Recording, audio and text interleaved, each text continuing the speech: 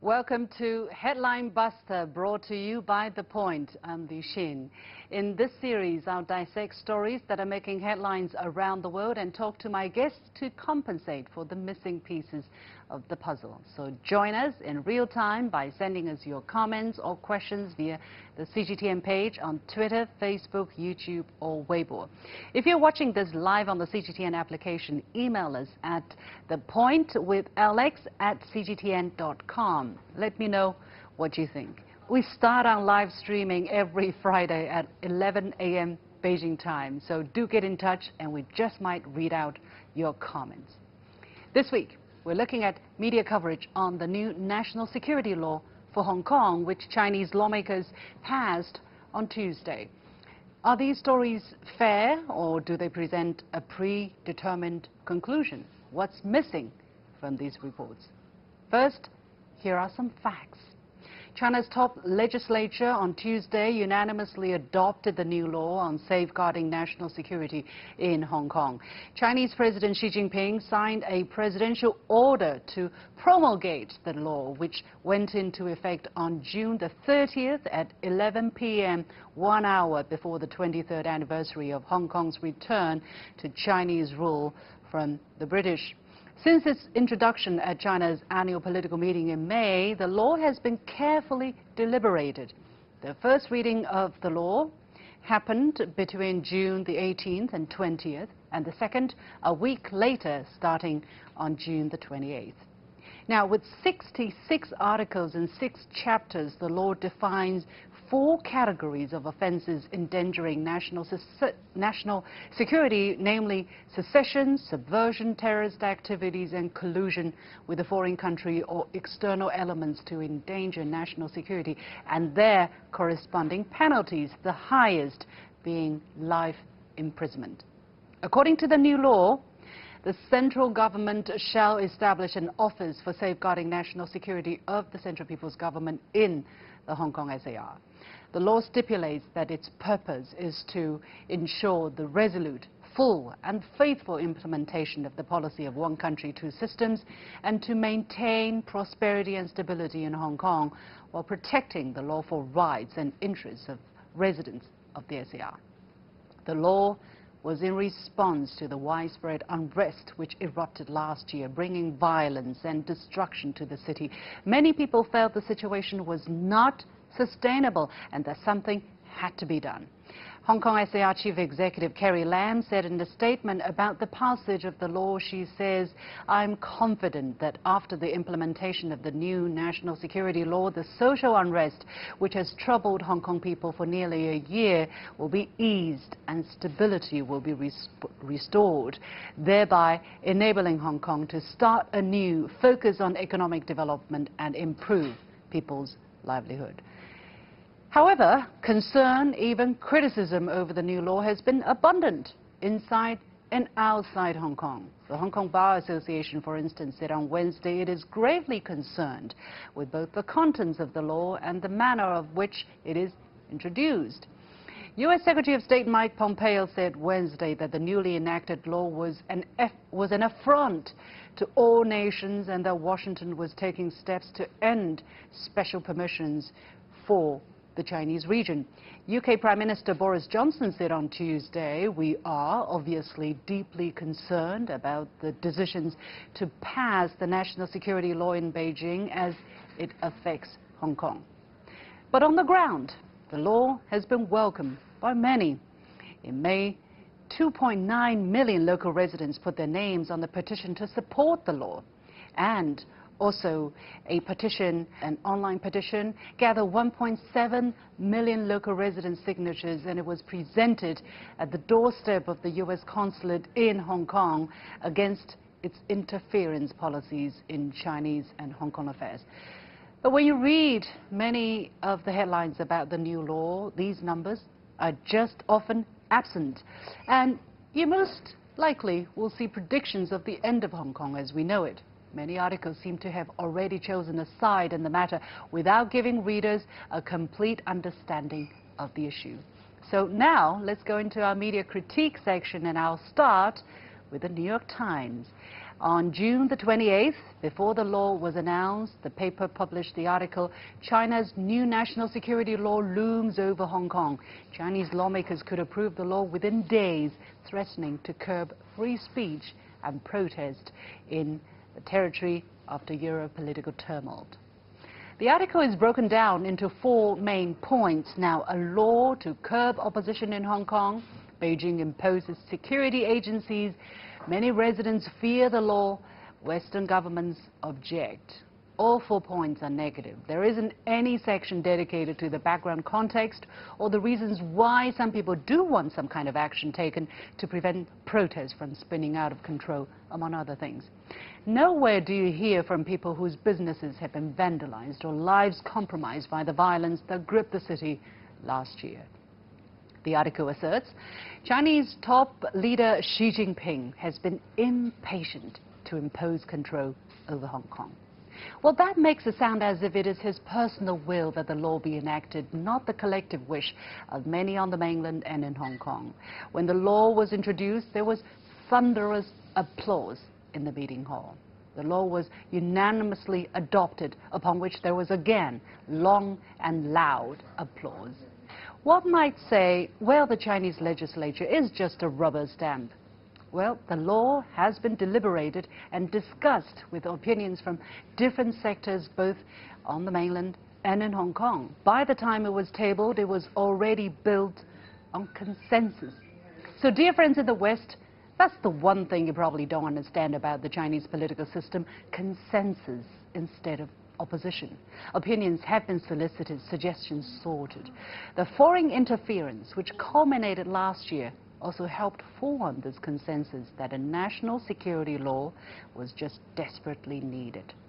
Then there were the millions of people in Hong Kong who put their names behind the law even before the details came out. Did the New York Times mention this fact? No. Then patient or impatient. I would say the Central People's Government has actually been extremely patient, having waited 23 long years for the region to enact its own national security law without avail.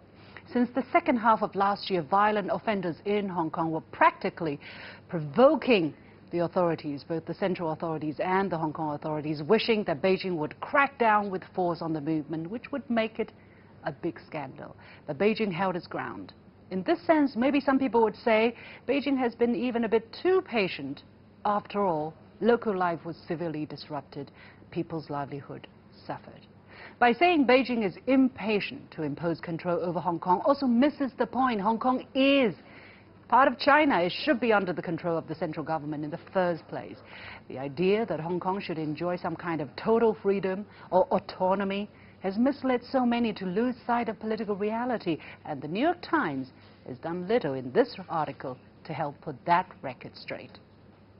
Next, we have an article published by our usual friend, The Guardian, from June the 30th, and the title reads, Controversial Hong Kong National Security Law Comes into Effect the first paragraph says Beijing has imposed a controversial national security law on Hong Kong, giving the Chinese government's sweeping powers over the semi-autonomous territory in a move critics say will crush its freedoms.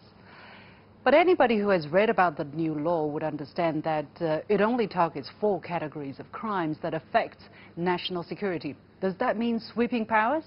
And only under complex cases such as the involvement of a foreign country or external elements will the central government exercise jurisdiction through an office in Hong Kong. Does that mean sweeping powers? We see the usual way of highlighting opposition voices.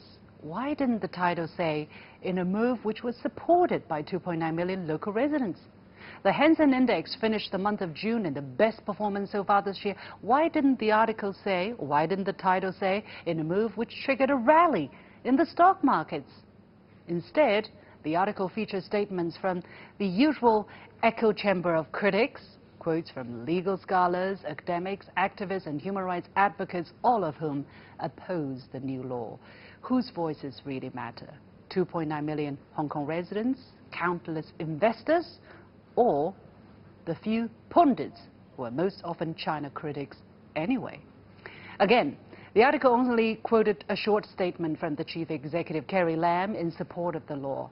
Maybe the journalist forgot to reach out to the other side again. The article includes reactions from the international community. Fine. It quotes the EU Council President who says, we deplore the decision. But let us not forget, on Tuesday, during a meeting at the Human Rights Council in Geneva, 53 countries welcomed the adoption of the law, while 27 countries, mostly Western, criticized it. Whose voices should really count? In a joint statement, the 53 countries said non-interference in internal affairs of sovereign states is an essential principle enshrined in the Charter of the United Nations and a basic norm of international relations. We believe that every country has the right to safeguard its national security through legislation and command relevant steps taken for this purpose. Of course, these details would be missing from such report. I wonder why. Finally, we have an article from CNN on June the 30th which, say, which says China passes sweeping Hong Kong national security law. Well, I'll forgive the title, but just to look at the content here, I must say we see a rather comprehensive and relatively neutral report on the facts and more balanced coverage of the analysis with opinions from multiple angles. Carrie Lam's statement is given due weight, not just a snippet against a heap of critics. We also see reactions from critics who fear the law could be used to override existing legal processes and erode the city's civil and political freedoms, and from opponents of the law who say it marks the end of the one country, two systems. Well, they say, they say. The article also includes reactions from leaders around the world, many of which are critical, but the article published what they said rather than editorializing. So my whole point is not to condemn critical coverage of China. People are entitled to their opinions, of course. But the point is to call out imbalanced reporting on a topic that clearly has more than just one side and there's just so much of it. We'll take a short break. You have been watching Headline Buster, our uh, weekly live streaming. I'll talk to my guests right after this short break about media's recovery and uh, why it matters. We have Wang Jiang, postdoctoral researcher from the Institute of Law at the Chinese Academy of Social Sciences. We have uh, Witman Hung joining us from Hong Kong. He's a Hong Kong deputy to the National People's Congress. We also have Professor Benjamin Chiao, academic dean of the Paris School of Business and chair professor of Southwestern University of Finance and Economics. Making sense of the overwhelming wave of information means cutting through the noise to shine a light on the heart of the story and making room for new perspectives. True understanding means the ability to see events from more than one side. I'm Liu Xin, and this is The Point. Welcome back to this edition of Headline Buster with me, Liu Xin. Let me welcome our guests. They are Dr. Wang Jiang from the Institute of Law at the Chinese Academy of uh, Social Sciences, Witman Hung, Hong Kong Deputy to the National People's Congress, and Professor Benjamin Chiao, Academic Dean of the Paris School of Business and Chair Professor of Southwestern University of Finance and Economics. Gentlemen, welcome to this edition of Headline Buster. So I was um, critiquing at least two stories, one from New York Times and uh, one from The Guardian, although the CNN story this time I deemed to be rather fair. Um, taking a comprehensive look at the situation and look at these reports, let me go to um, Professor Chiao first. What do you think are some of the biggest factors that are preventing articles or writers and editors of these papers to um, give a more comprehensive uh, analysis of the different views that are out there? Well, I think uh, vested interests, prejudice, and technologies. Uh, quite to the contrary, uh, with this open internet, there is a phenomenon called a balkanization. Uh, existing beliefs and sometimes uh, wrong beliefs could be reinforced even by uh, very open social media. Uh, one cause of that is through big data. Social media is able to fit you, they understand you, fit you what you wanted to believe and see. So your beliefs are reinforced and reinforced. Uh, if you, unfortunately, if you ask what is the capital of China, in some foreign country, you'll be surprised at how many people got it wrong. Some people tend to close their ears if they hear what they hear is very different from their beliefs. China is improving so fast that even surprises scholars like me that uh, who studies it every day. For example, China has proved all its citizens out of poverty this year. The scale, the degree, the improvement of the people's life have never happened in history. Let me go to, okay. um, yeah, let me go to Mr. Horn uh, in Hong Kong. Mr. Horn, you live in Hong Kong. You know what the situation is like, and you um, also travel around the world. You travel to the mainland. When you are reading these stories, what is uh, striking you the most? Uh, I I think, um, first of all, I'm I'm not reading them. I think it's a waste of time, quite frankly. Um, well, last uh, time you were on the show, last time when you were on the show, you said all opinions are cheap. This time you're saying you're not reading the news. We might as well pack and go home, Mr. No, the thing, the thing is, opinions definitely are cheap, and the problem is these days, um, it's not just one single media, but there's this thing called advocacy journalism, which is really far from the journalism that I used to, uh, uh, you know, understand. Um, why so much advocacy when your duty is to show the facts um, and the truth? And, and, and right now, I mean, maybe I, uh, we have to be blamed as well because I've never run across any reporter from the uh, Guardians or the CNN or the New York Times. So I, have never, I've never met them, uh, even though I'm quite a very active person in Hong Kong. So must be it must be my fault as well since I, I have not been able to catch their attention. So there's a missing there's a missing part of their reports, which means they are not really reaching out or, or they couldn't reach you know people on our side. Why not? Why do you think they're not reaching out or they couldn't reach? I mean, uh, you have your, your email address, and I'm not just talking about you. We have many people who are, uh, of course, supporting this law. They're all out there, you know. They're all accessible, Mr. Horn. It puzzles me, but I will think maybe there is this mainstream in the West right now, especially led by the U.S., is called China bashing. Okay, if you look, if you read the news, um, it, it's actually uh, bipartisan support for China bashing, and also um, the way they try to present to their readers, to me, is really um, very often carefully crafted way of presenting um, part of the truth. You know, remember when we used to say uh, we should say the truth, the whole truth, and nothing but the truth? Mm. But we have been dealing with this kind of half truth for a very long time. Ever since I think June last year, we have been reading all this half truth thing. And then of course they start to report. You know, I was look look at, at the CNN and say, who does it? Uh, who did they uh, re- uh, interview? Oh, Jimmy Lai. Oh, Joshua Wong. Oh, and Amnesty uh, uh, International. The usual suspects. Okay. How about what what what about the others? Are there uh, any other Hong Kong people around? Don't know. I mean, it seems like they only know these three, these two person plus the uh, uh, this this famous or infamous uh, NGO, um, you know, backed by foreign uh, powers. That's that's so. really yeah. It's it's a very stark reality to to be reminded of. Although we are more or less aware of the partiality that has been perpetrated by um, many international media since the outbreak of uh, unrest and protest last year, but to what extent?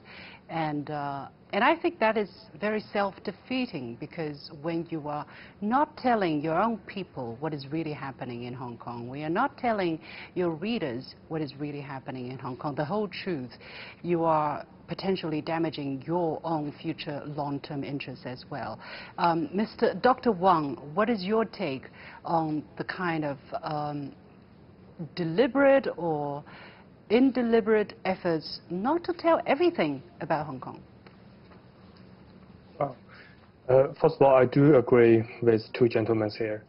And also I'm thinking is, uh, I think there is a sort of like a catering, uh, those those media have some sort of like catering to so-called political correctness in Western country here. And uh, to do so, they are somehow to like to creating a monster image of China. It's become of like a part of the opposite side of this political correctness. And that somehow seems like uh, just feeding the imagination of some Western people.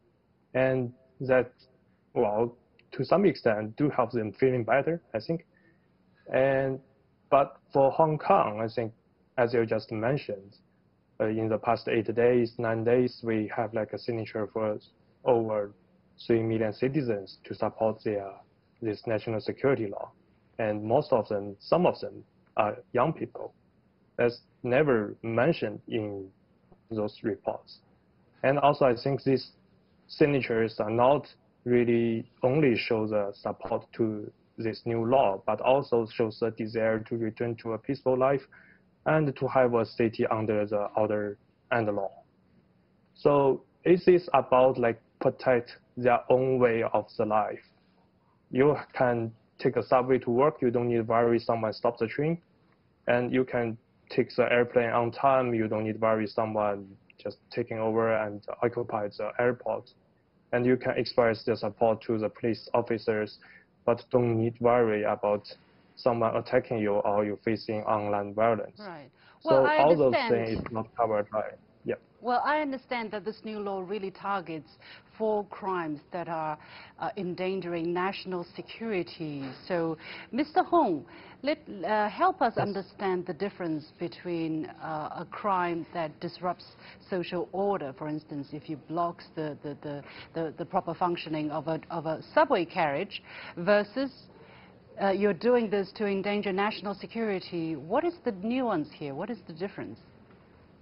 Well, the major difference is if uh, it's a single act of violence, for example, um, you know, hurting somebody or stopping the MTR, for instance, it's uh, it's a criminal offense. Okay, under even under the current criminal law in Hong Kong, but the new law talk about terror terrorist activities. I will classify those Occupy Airport and Occupy uh, MTR as terrorist activities because they are doing things um, in violent or sometimes not so violent, but um, based on a political uh, uh, objective, okay, uh, but and but hurting, you know, uh, uh, innocent people. So that those will be classified, as, in my opinion, as terrorist activities, and that will be seriously punished by the new law. Whereas in the past, they will be dealt with on a single basis. Um, I mean, the, the, the, the main strength of this new law, I think, which we like, is number one, is not just the person in the front who are waving sticks and throwing Molotov cocktails, Hmm. but also the people who help them, aid them, fund them, promoting them. They will. They are also liable to this offense. I mean, I think that is very important. Well, at the end of the day, uh, whether an act is uh, uh, categorizable as a terrorist act or subversion or secession will be decided by, uh, in most cases, judges that are chosen from Hong Kong, right, instead of uh, being dealt with by the central people's government through the Office for Safeguarding National Security in Hong Kong. So uh, a lot of nuances will have to be debated there, and uh, the law also stipulates that nobody will be tried, nobody will, uh, will be presumed guilty before they're proven innocent. So uh, let's take a look at a comment from our uh, online viewers and uh, try to respond to that. Let's take a look at this. So from Ellen Fan, I'm a Hong Konger and I wish to express my unwavering support for the national security law which protects our interest and gives us back our law and order. Um, Professor, and okay, it goes on, a government is not accountable to any foreign countries whose only intention for interfering in our own affairs is causing chaos and breaking up our country. Yeah, all right.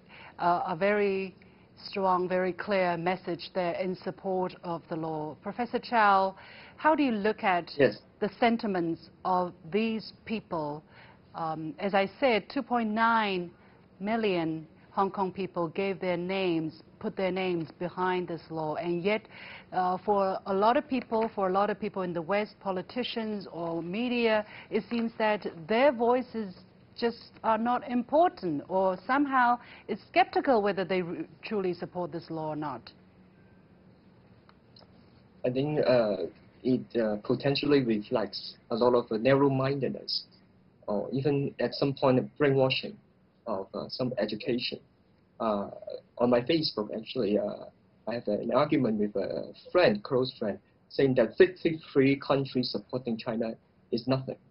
You, you, you, and they show me, he showed me the list of countries, and I go on to say to him that uh, are these countries not countries?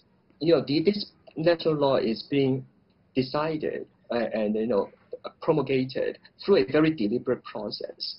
Although it might not be the single uh, way, very uh, uh, the same as the other dominant Western way to uh, to uh, enact such law, but it is a deliberate process. It's not just a decision from a few days, not from a one person. Well, you look not- at the paradigms. Yeah. Yeah.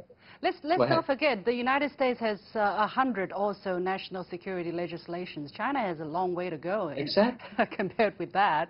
And uh, Exactly. It doesn't prevent London and Tokyo and New York becoming uh, international financial center. They have their laws. You know. Okay, I just have enough time to put in a last comment. This time, uh, let's see whether he, this person is in support of the new law or not. And uh, from Michael Monguia, does that mean they're going to give all their protesters life in prison? Okay, um, Mr. Chiao, can you take such comments seriously? Well, I, I think uh, the new law does not mention anything about uh, retrospective prosecution. So if you are uh, abide, you abide by the law from from now on, you will not be prosecuted. Okay. Yeah, and I Uh, th- okay, yeah. So we're running really out of time, but uh, allow me, from a non-professional, legal professional's perspective, even I can see not all prisoners, not all protesters will be put into uh, life imprisonment. This is just common sense, isn't it? I mean, unfortunately, we don't have the time to go on with this discussion. Many thanks to Dr. Wang Jiang, many thanks to Witman Hung, and many thanks to Benjamin Chiao for having joined us on this uh, headline buster. And with that, we come to the end of this special edition of The Point with me, Liu Xin, our Friday weekly routine headline buster. Thanks for having followed us. I'll continue to interact with some of you online if you're still there, and I'll try to read some of the comments that you have left. Meanwhile, thank you for having followed us. I'll see you next Friday at the same time.